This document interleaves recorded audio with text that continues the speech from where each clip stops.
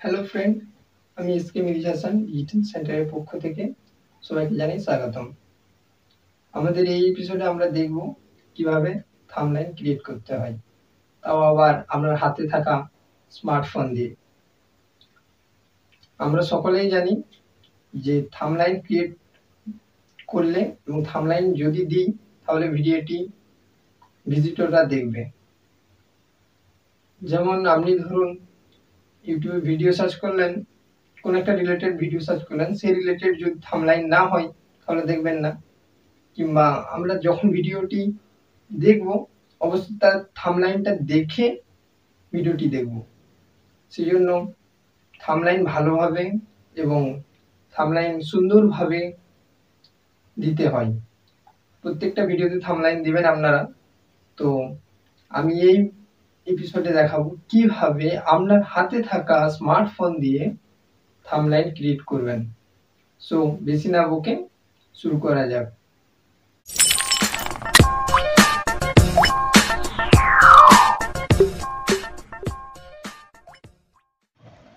So সবার প্রথমে আমাদেরকে চলে যেতে হবে প্লে স্টোরে প্লে স্টোরে যাওয়ার পর আমাদেরকে এখান থেকে অ্যাপ্লিকেশান দুটো ইনস্টল করতে হবে। প্রথমত পিক্সেল ল্যাব ইনস্টল করবেন। তো আমার ইনস্টল করাই আছে। আপনারা ইনস্টল করে নেবেন।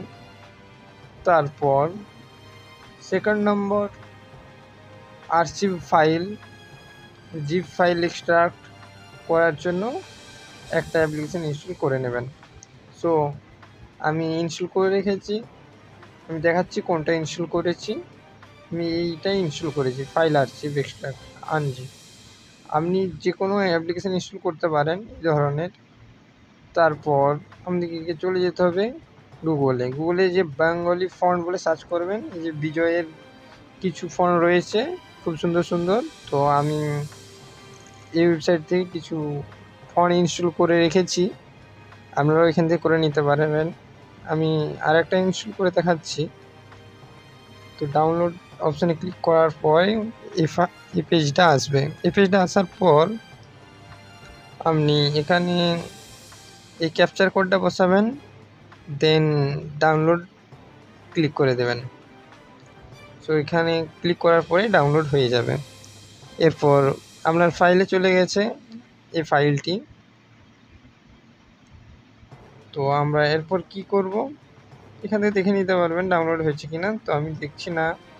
তো আমরা আর্চিভ ফাইল যে অ্যাপ্লিকেশানটা নিয়েছিলাম, ওইটা ওপেন করব। ওইটা ওপেন হওয়াতে কিছুক্ষণ টাইম নেবে, তারপরে ডাউনলোড ফাইলে যাবেন, তারপরে জিপ ফাইলটা খুঁজবেন। এই ফাইলটা ক্লিক করার পর এক্সট্রাক্ট হেয়ার বলে অপশানে ক্লিক করে দেবেন। ক্লিক করার সাথে সাথে পিক্সেল ল্যাবে এই ফন্টগুলি চলে যাবে।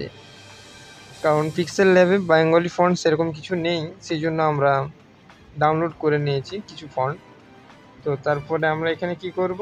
এখানে যে সাইজ করে নিতে পারব ইউটিউব থামলাইন বলে ইউটিউব থামলাইন বলে কিছু অপশান রয়েছে। এখানে ক্লিক করবেন ওখানে অনেক কিছু অপশান রয়েছে। ইউটিউব ব্যানার তারপরে ধরুন আমার প্রোফাইল পিকচার সব রকম সাইজ রয়েছে। তো আমরা ব্যাকগ্রাউন্ড একটা নিয়ে নিচ্ছি এখান থেকে। আপনি আপনার ইচ্ছা মতো একটা ব্যাকগ্রাউন্ড সিলেক্ট করে নেবেন। সো আমি এখানে এই ব্যাকগ্রাউন্ডটা সিলেক্ট করছি। তারপর এখানে আসব। ওটা আমরা ডিলিট করে নিলাম। তারপর ফ্রম গ্যালারিতে আসবেন। যে ফটোটা নিতে চান সেটা সিলেক্ট করবেন। সো আমি সিলেক্ট করে নিচ্ছি। সো আপনারাও আপনাদের ইচ্ছা মতো একটা থামলাইন সুন্দরভাবে বানিয়ে নিতে পারবেন। যে দেখুন, এখান থেকে কাস্টমাইজ করে নিতে পারবেন কতটা ফটো নেবেন, কতটুকু নেবেন, আমি এখান দিয়ে কেটে নিয়েছি, তারপর এখানে ইচ্ছে মতো কাস্টমাইজ করে নিতে পারব আমরা। যে কোনো যে কোনো ধরনের ফটো দিয়ে আপনি থামলাইন এডিট করতে পারবেন। তবে হ্যাঁ অবশ্যই সেটা হতে হবে আপনার ভিডিও রিলেটেড থামলাইন নইলে আপনি ধরুন দিলেন, এক ধরনের থামলাইন দিলেন, আর একটা টপিকের থামলাইন দিয়েছেন, আর একটা টপিকের ভিডিও দিয়েছেন। সেখানে তাহলে কী হবে? ভিজিটররা আসবে থামলাইন দেখে ভিডিওতে যাবে, যখন দেখবে না, তখন আপনার বেকার হয়ে যাবে। সেই জন্য আমি বলব ভিডিও রিলেটেড থামলাইন দিতে। অবশ্যই আপনার ভিউজ বেশি আসবে এবং ভিডিওটি গ্রো হবে। সো আমি আপনাদের সুবিধার্থে মাউস লাগিয়েছি অ্যান্ড্রয়েড ফোনে দিয়ে দেখাচ্ছি কারশর যেদিকে যাচ্ছি, কোথায় কোথায় ক্লিক করছি এবং কীভাবে করছি আপনারা দেখতে পাচ্ছেন, তা না বললেও চলবে। আমি বলছি না, আপনারা মন দিয়ে দেখতে থাকুন ভিডিওটি।